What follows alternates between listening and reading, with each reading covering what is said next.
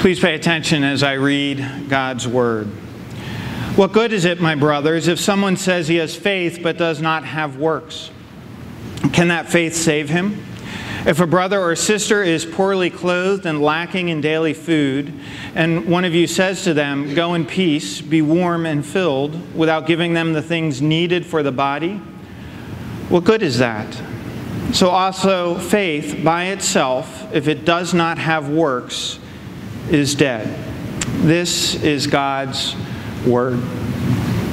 The Apostle Paul is very clear that salvation is uh, by faith alone, be, through the grace, uh, through Christ alone. So in 1 Timothy, he writes, God saved us and called us to a holy calling, not because of our works not because of our works, but because of his own purpose and grace. And yet, here we read in James that he seems to be saying the opposite, something that seems to be at loggerheads in conflict with Paul. James is saying that you need to have works, that, that faith without works is dead. What gives? Who's right? Is there a conflict? Or, or are, they, um, make, are they making contradictory statements? So, some of you may know that this is the 500th anniversary of the Reformation. Uh, 500 years ago, the Reformation was launched that uh, radically transformed our world, and we are still living in the fruits and the benefits of the Reformation. And, and one of the rallying cries of the Reformation is that salvation is by faith alone, uh, through grace alone, through Christ alone. It's called the, the solas, it's a, a word for alone. Um, and today, this is still one of the major differences where we would have a disagreement with Roman Catholics and where Roman Catholics would be uh, in disagreement with us. So the, the Protestant view is salvation is through faith alone. The, the Roman Catholic view is, is more of a, a, a salvation by faith plus works or faith and, and works. And, and some people would see that well, James is espousing a, a Roman Catholic view, and Paul is uh, um, offering a Protestant view. And, and I want to suggest that, that this contradiction, this conflict, is, is an apparent one. It's a, a seeming one and not actually a real one.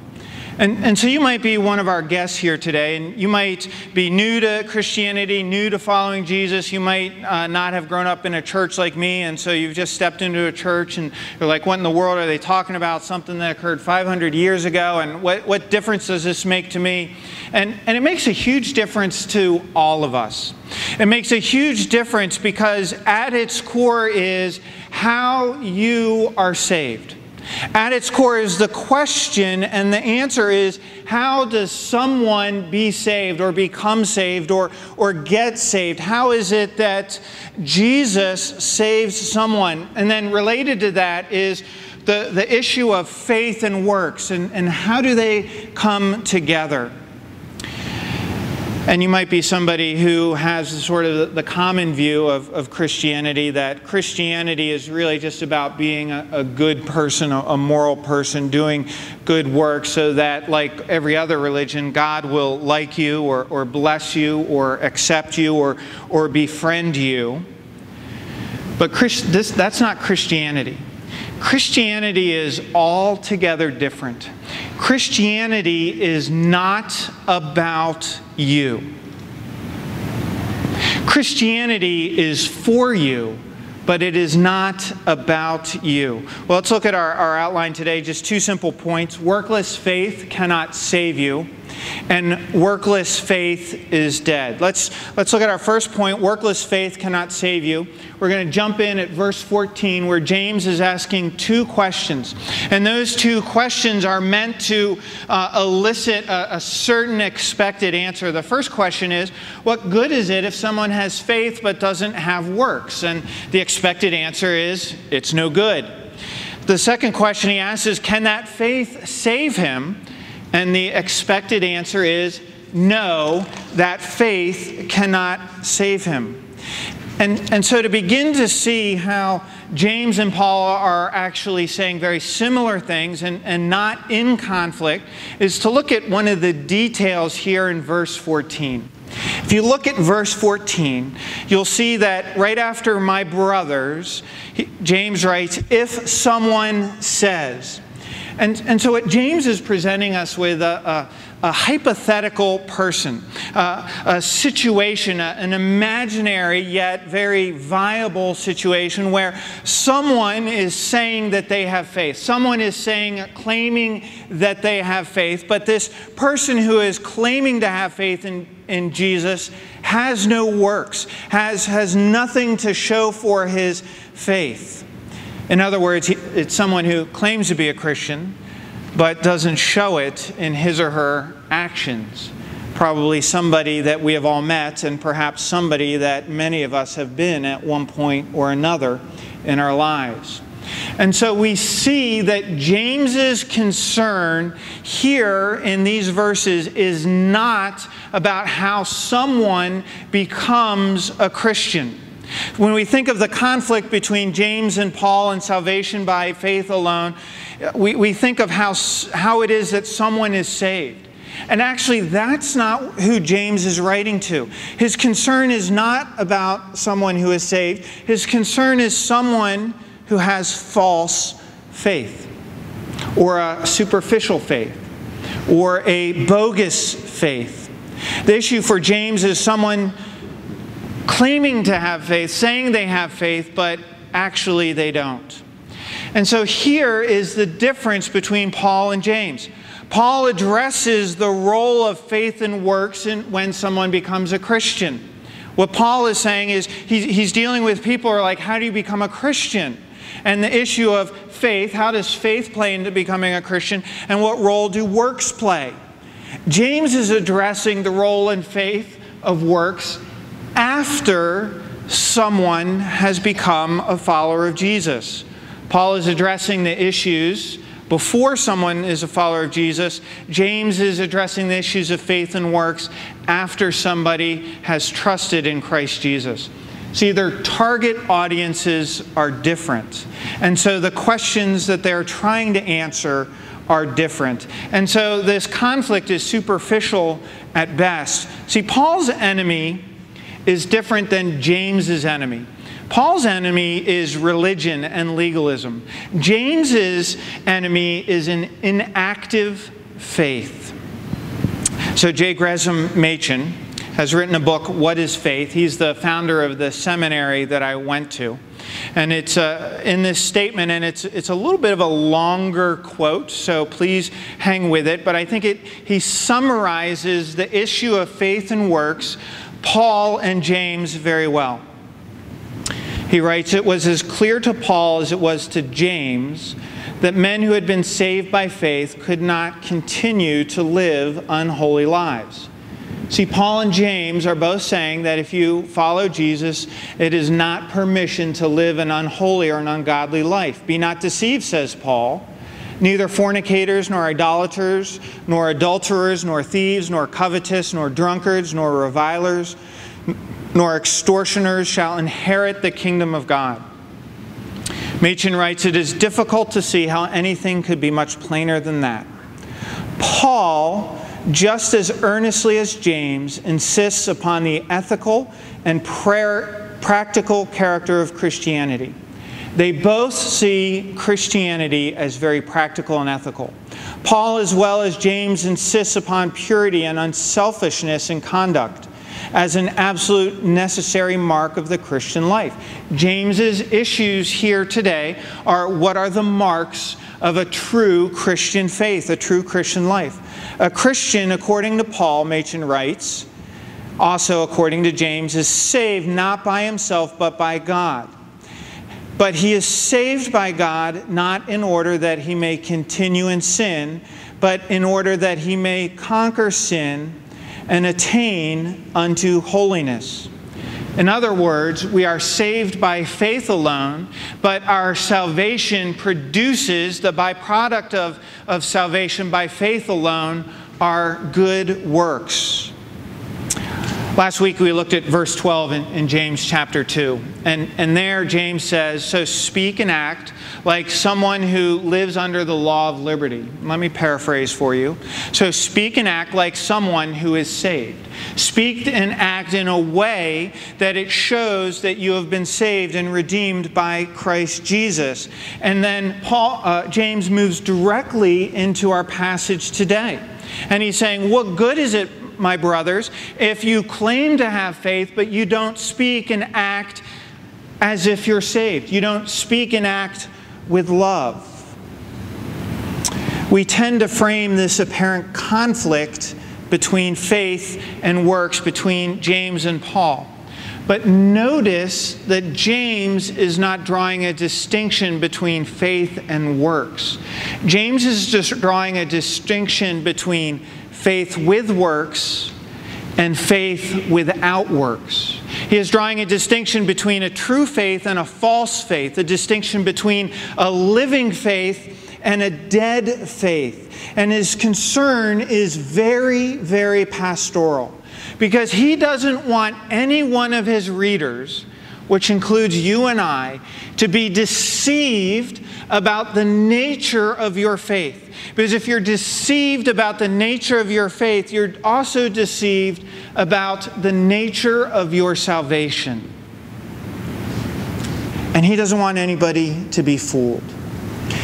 And so he continues with his hypothetical yet very uh, realistical person, very realistic person in, in verses 10 and 11.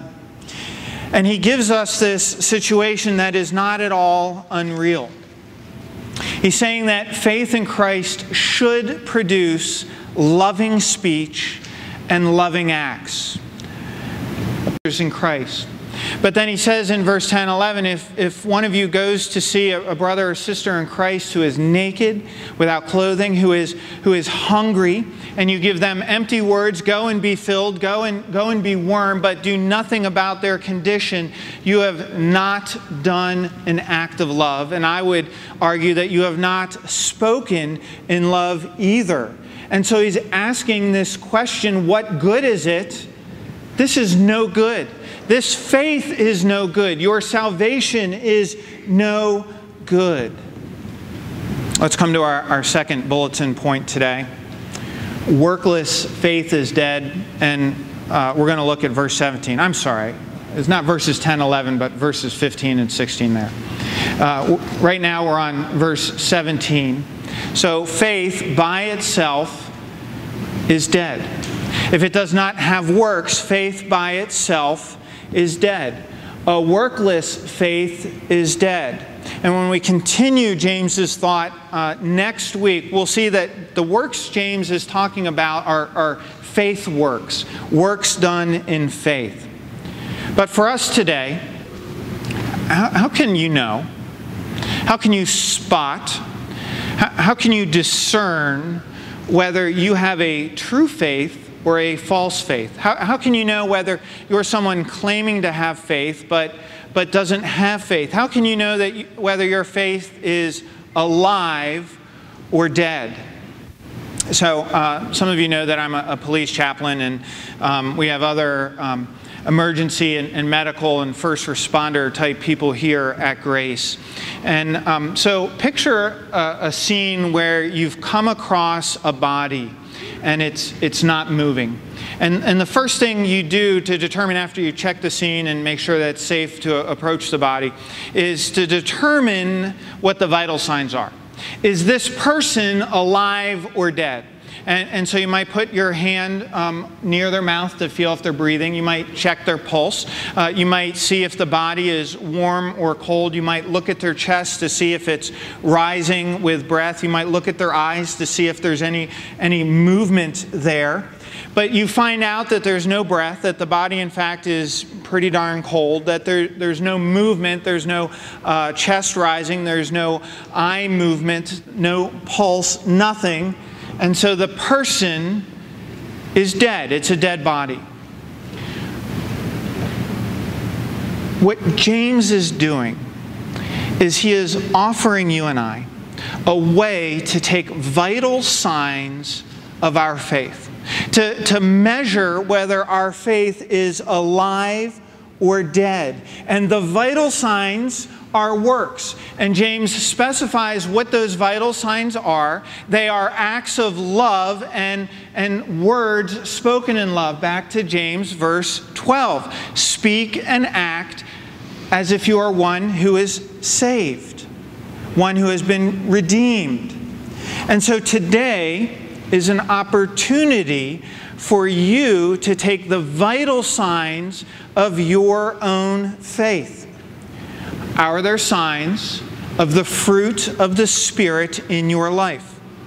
Love, peace, patience, kindness, goodness, gentleness, faithfulness, and self control. Do they appear in your life?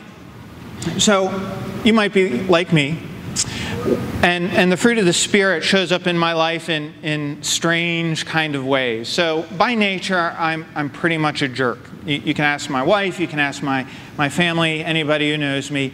I'm pretty much a jerk. And, and the way that the Holy Spirit shows up in my life is that uh, there are days when I am less of a jerk which is a sign that I've become just a little bit more gentle and just a little bit more kind, just a, a little bit more good.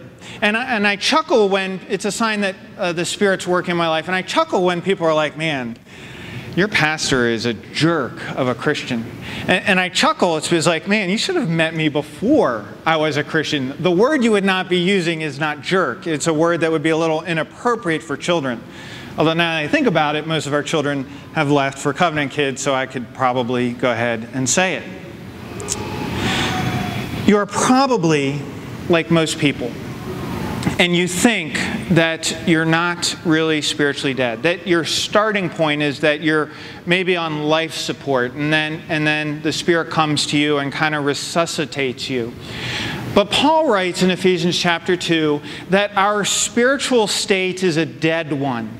You are dead in your sins and your trespasses, that your vital signs are not existent, that the body is cold, it is not breathing, there are no brain waves, there is no eye movement, there is no pulse spiritually speaking. And the picture of a dead person is very helpful because once a person is completely dead, not talking about where they can be resuscitated with the paddles or something like that, but actually dead, there is no bringing them back to life apart from God. And here's what we tend to do, spiritually speaking, once again. We tend to take our, our dead souls and we, we treat it like a dead body, and, and we want to show that it's alive. So, what do we do? We, we take our dead body and we put a heater next to it to raise the body temperature to 98.6 degrees. We, we get a, a, little pump that might move our, our lungs so that it, there's breath. We, we might do something, uh, some sort of compression so that our blood pumps like the heart rate, and so that you could actually check and find that, yes, the person has, uh, their body is warm, it's 98.6 degrees, that they are breathing, that they have a pulse. Would you say that that person is alive or dead, even though the vital signs you would think that they're alive? Absolutely not. And that's what we try and do with works. We try and take a dead soul and add good works to them to demonstrate that it's alive, but adding good works to a dead soul will never make a dead soul alive. And that's why we need the radical heart surgery of the Holy Spirit when we, in faith, trust in the life, death, and resurrection of the Son of God who has come to save sinners and to begin to follow him, that he will one day, as he's been resurrected, we will also be resurrected. And it's that spirit that He gives us that creates a new heart in our lives. A heart that starts beating, lungs that start breathing, a pulse, and a body that is warm and alive. It is ridiculous to create vital signs from the outside. Vital signs never make someone alive.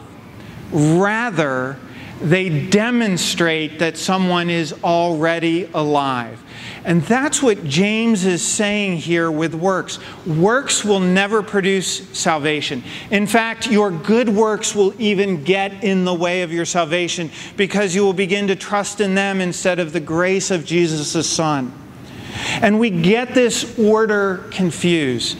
And this is one of the, the, the, glorious moments of the Reformation and what the Reformation did for the church. It put this relationship that got out of order between faith and works, it, it puts it back in order. It puts it, uh, faith and works on, on the right understanding. James is concerned for his readers' souls. He's concerned for someone who is claiming, says that they are a Christian, but has no works, has no vital signs. He's saying that if you don't have vital signs, your faith is dead. But the way to become alive is, is, is not to add more good works, but it's to lean into the gospel with more faith, to trust in Jesus, to repent and turn from your sins and embrace the grace that is freely offered in Christ Jesus. And this is a great evaluation, heart evaluation for us today. Does, do your vital signs demonstrate loving speech and loving action. Paul said it perfectly in Galatians 5 6. What counts is faith expressing itself through love. It is what, what matters, what is good, is faith being embodied, faith being worked out, faith expressing itself through love.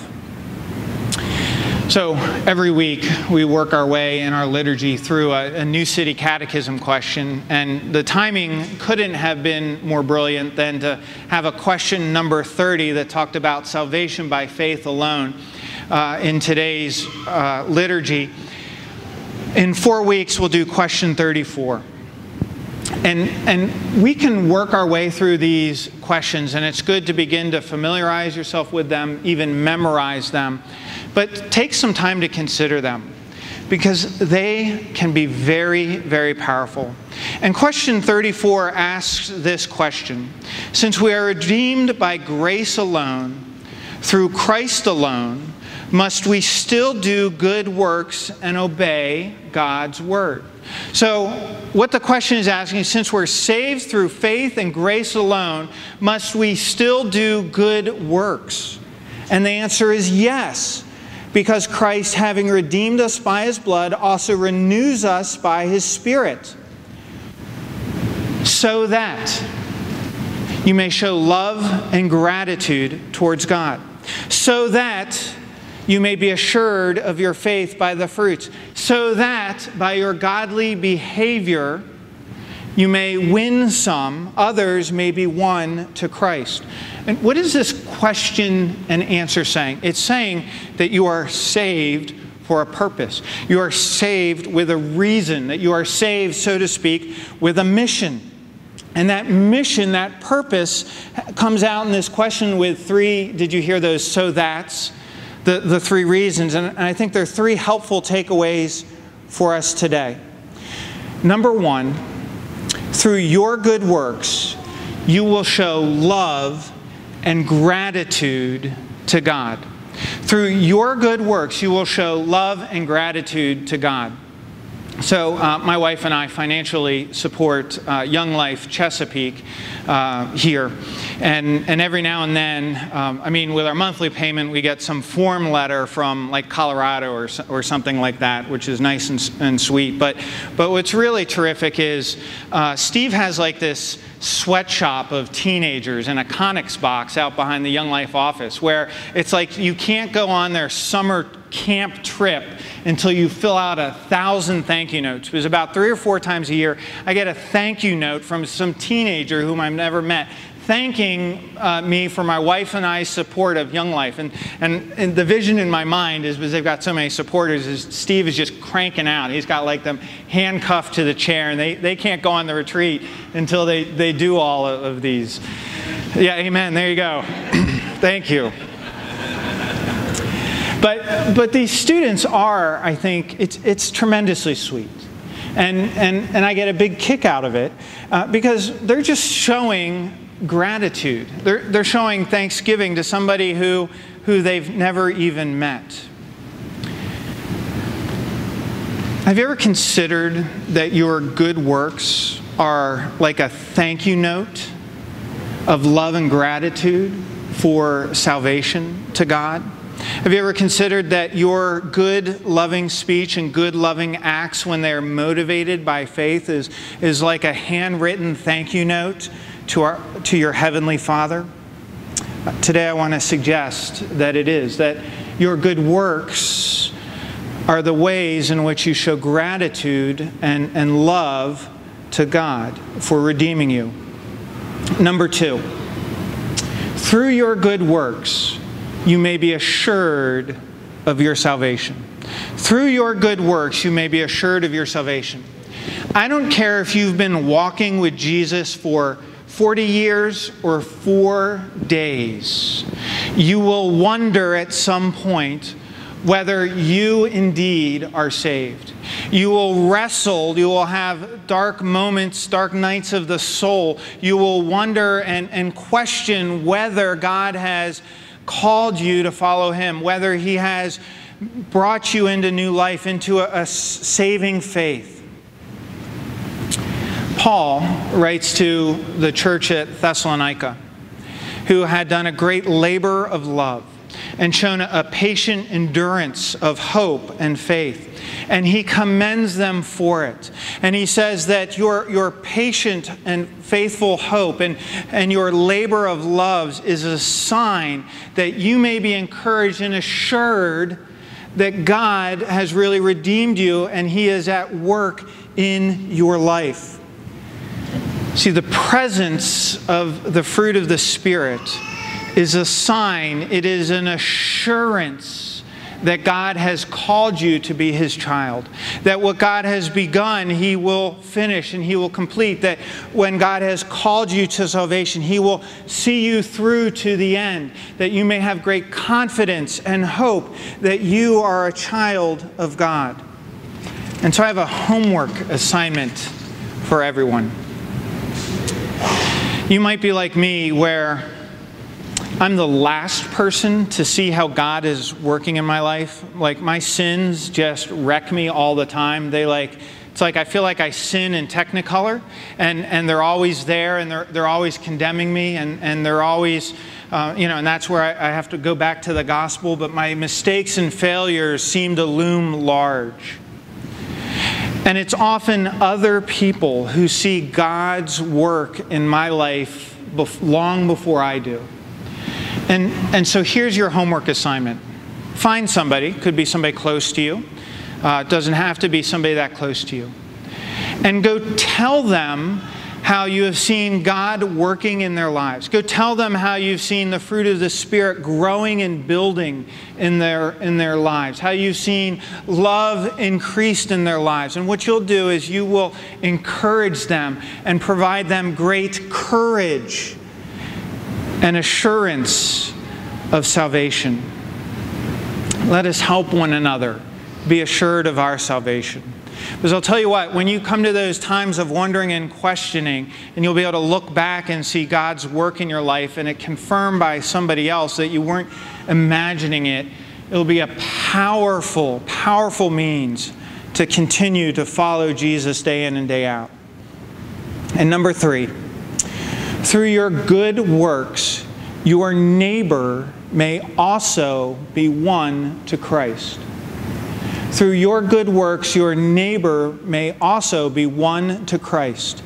I have yet to argue anybody into the kingdom of heaven. Yes, truth is very important. I'm not one of these guys who's going to say, okay, you know, preach the gospel, but use, use words if necessary. I mean, that, that's like a whole, whole other tangent. But the gospel fundamentally are words, so we need to communicate the words of the gospel. But the best barrier, the, the best way to break down the barriers to faith and, and help somebody move from unbelief to belief is through loving acts good works. Nothing breaks down barriers to God than good works. Somebody who's disenchanted and has been burned or felt like they've been burned by God, how about hospitality, a loving relationship, a listening ear, a compassionate heart? That will wear down somebody's hard heart like nothing else. Nothing else breaks down the arguments against God's existence than acts done in love, acts done for the unlovely, love shown to the materially poor, those down and out, those who, who need justice and mercy. And it may be the loving act of us serving in CAST this fall, where we, we care for homeless people in our community. It may be volunteering to teach or just be part of the class and befriending lonely uh, college students, or, or spending time over pizza befriending a, a, a TCC student through Life Explored. It may be entering a neighbor's life with patience and kindness and hospitality, inviting them over and being with them and listening to their story like nobody has ever listened and, and allowing them to peer into your life. Giving them the warmth of the gospel of grace. These things will win your family members, your roommates, your teammates, your classmates, your, your, the people your work, you, you work with to Christ like nothing else can. Let me pray for us.